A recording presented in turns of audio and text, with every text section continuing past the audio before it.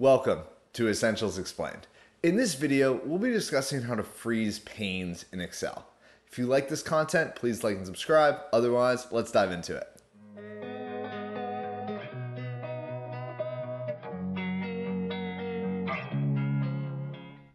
So let's talk about freezing panes. So why would you want to freeze panes? Let's walk through an example. So let's say I'm looking at my data and playing with it, and I'm really curious about some of these orders out here, and I really want to understand them.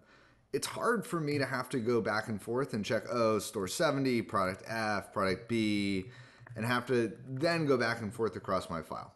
Same way if I am looking through the bottom, and let's say I was less familiar with this file and I didn't know what is this column? This is, oh, this is owner. And this column was, you know, my owner lookup. It's, it's a pain to have to jump around your file like that. And it's really hard to orient yourself to any file if you're not familiar with it. What you could do is you could, I guess, hide some of these rows or hide some of these columns so that it's always visible on your worksheet. But Excel has a built in functionality that enables you to keep columns and rows visible throughout your sheet. And it's called freeze panes. So if I go into this view option and press freeze panes, freeze panes, I can now really easily scroll through my worksheet and I could scroll over as far as I want. It will always keep columns A and B visible. And I can also scroll down and will always keep rows one and two visible. So really, really helpful for scrolling through your file and understanding this is the LTM column, this is margin dollars, this is owner lookup. I am looking at store 16 product C, right? I've I want to look at pterodactyl, I can see exactly what she has ordered on this specific date. So helpful for viewing your file and helpful for being able to look at your data without having to jump around.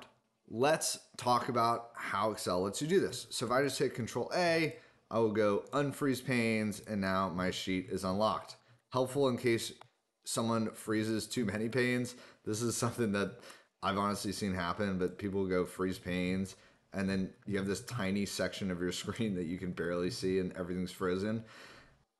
Not a huge deal. If someone has done that, just hit Control A, unfreeze panes, and it will unfreeze all of it.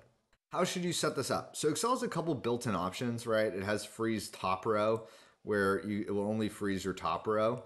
That I find can be helpful. It also obviously has less functionality. We have our column headers in our second row, so not super helpful for us. It can also freeze the first column, so it would freeze your store number, but if you want your product, you're somewhat up a creek. Let's talk about the freeze panes option because I actually think that is the best one. So what does this do? I'm gonna unfreeze all panes and then I'll just hit freeze panes. My cursor or my cell is in cell C3 and so what that's going to do is it's going to freeze all columns left of your cell and it's going to freeze all rows above your cell. The easiest way to think about where to place your cursor is you want to place it in the top left of the cells that you don't mind hiding, right? I don't care about this specific cell or this quantity. I'm fine if Excel hides it if I scroll over to the right. And I'm, I'm fine if Excel hides it when I scroll down. So you want to put your cell in the top left cell of the cells you don't care about, or one column right of the last column you want to show, and one row down from the first row you want to show. Two different ways to think about that, and something I find a lot of people struggle with is understanding where to put their cursor to accurately freeze the panes. If I hit Control A, I can go freeze panes, unfreeze panes, just to show that one more time, let's say, for instance, I actually wanted this date, this revenue, this price, I would put my cursor in the product description, which is the first cell or the top left cell that I don't mind Excel hiding, or one column to the right of the first column I want to keep, and one cell below the first row I want to keep. I can either hit freeze panes or I can use a shortcut, Alt W F F will do that. And now as I scroll through my sheet, I've frozen the panes to show the date column as well.